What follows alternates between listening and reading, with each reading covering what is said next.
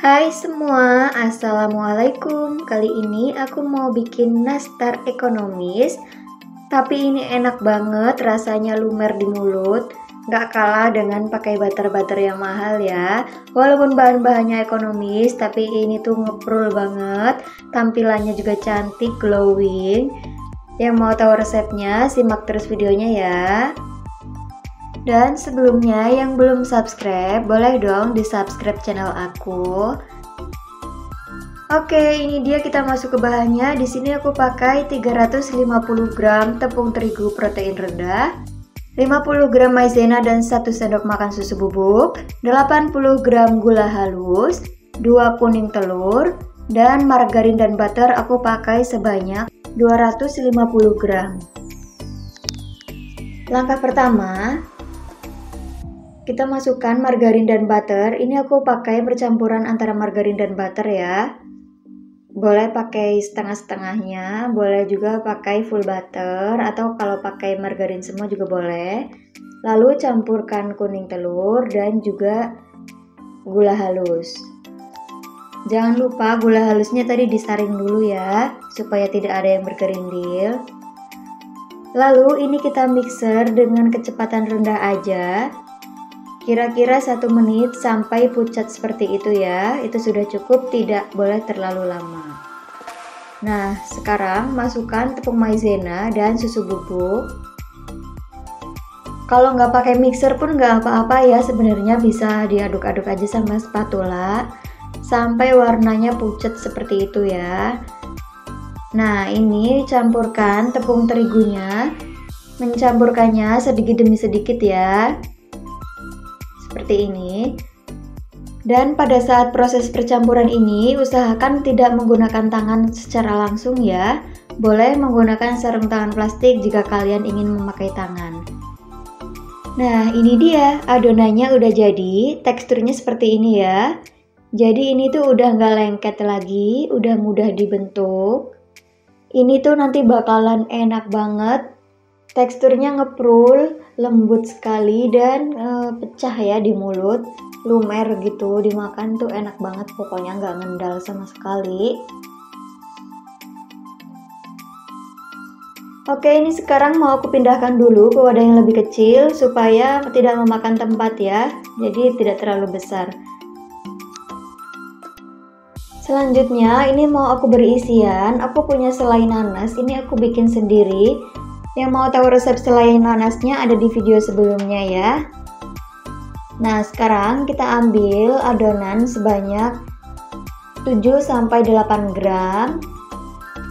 Lalu kita bulatkan dan gepengkan seperti ini ya. Supaya lebih mudah nanti untuk memasukkan selainya.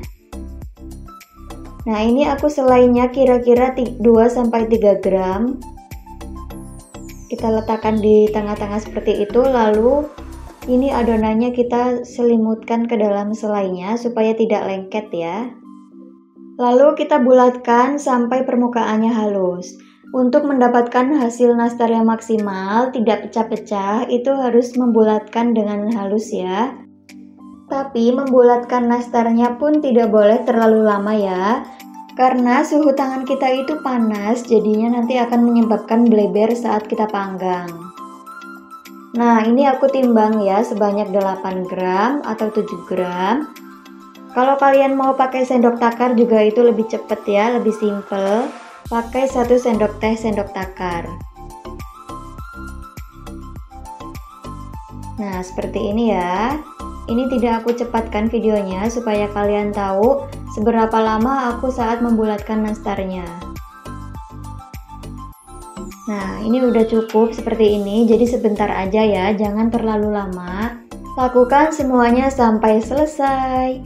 Oke, ini dia udah selesai. Ini juga tadi udah ada yang aku panggang karena aku pengen tahu ya penasaran ini tuh nanti bleber atau enggak ternyata hasilnya cantik banget ya hasilnya mulus perbandingannya juga nggak jauh ya pada saat belum dipanggang jadi ini bener-bener resep yang pas kalau menurut aku cantik banget ya adonannya itu sangat mudah dibentuk sangat mudah untuk dihaluskan ya jadi tidak terlalu lama kita pegang-pegang Oke, sekarang mau aku panggang. Di sini aku udah siapkan, aku menggunakan oven tangkring.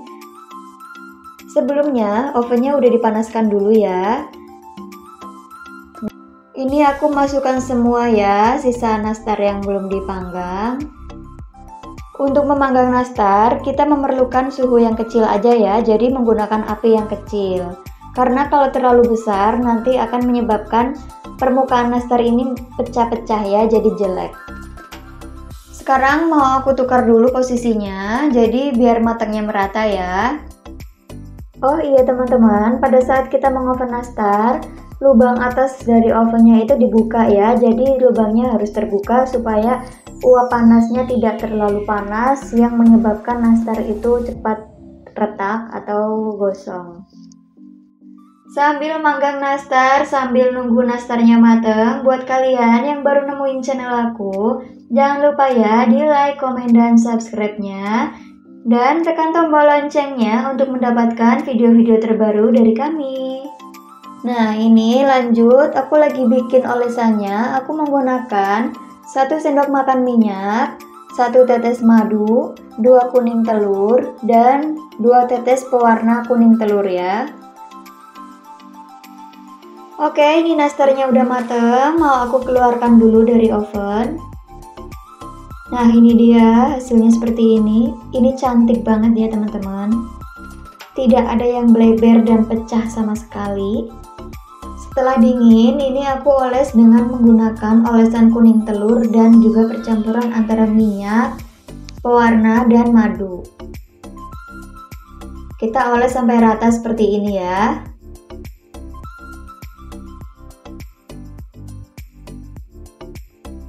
Nah ini dia hasilnya seperti ini, cantik sekali. Ini tuh nanti akan glowing banget ya teman-teman. Oke ini dia udah selesai aku oles semuanya. Ini baru aku oles uh, pertama ya, jadi nanti bakal aku oles kedua kali. Nah kalian bisa lihat sendiri itu tuh warnanya agak sedikit berbeda. Dari yang pertama ini seperti ini, warnanya agak pucat ya. Jadi aku tambahkan lagi pewarna orange sebanyak satu tetes. Jadi warnanya jadi cantik seperti ini. Itu opsional sih kalian suka yang warna kuning telur kayak gini atau menggunakan warna yang kedua. Ini sebelum kita oles dengan olesan yang kedua, tunggu dulu sampai olesan yang pertama itu ngeset ya. Jadi kurang lebih sekitar 5 menitan itu juga udah ngeset. Nah ini dia contohnya. Seperti ini ya dioles secara merata diulangin lagi ini hasilnya nanti akan cantik banget ya.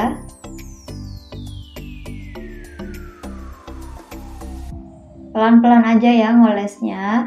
Karena membuat nastar itu emang membutuhkan waktu yang lama dan membutuhkan kesabaran jadi harus benar-benar niat ya kalau bikin nastar.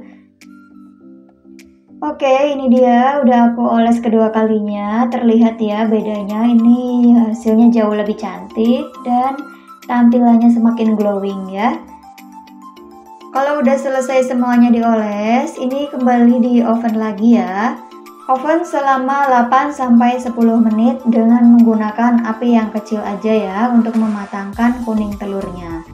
Karena nastarnya ini sebenarnya udah matang ya, cuman ini hanya untuk mematangkan kuning telurnya aja. Nah ini dia hasilnya, seperti ini, ini udah mateng. Nastarnya cantik banget, glowing banget Kalian tidak perlu khawatir saat pertama keluar dari oven memang rada kurang glowing, tapi ketika kita sentuh permukaannya seperti ini, ini akan glowing sekali ya karena dia mengeluarkan minyak. Setelah dingin, kita akan tata di toples seperti ini ya. Ketika memasukkan ke dalam toples seperti ini, itu harus keadaan dingin ya. Jadi kita tidak boleh terlalu lama juga uh, saat di udara terbuka dan tidak boleh hangat juga ya ketika kita masukkan ke toples. sekarang mau aku cobain aku potong nah ini udah kelihatan banget ya teksturnya sangat ngeprul dan lumer ketika dimakan kita lihat dari deket ya Tuh, enak banget. Ini selainya juga ngeblend. Pokoknya perpaduan antara selai dan rotinya ini sangat enak ya, tidak keras. Jadi ketika dimakan masuk mulut itu ngeblend dua-duanya ya.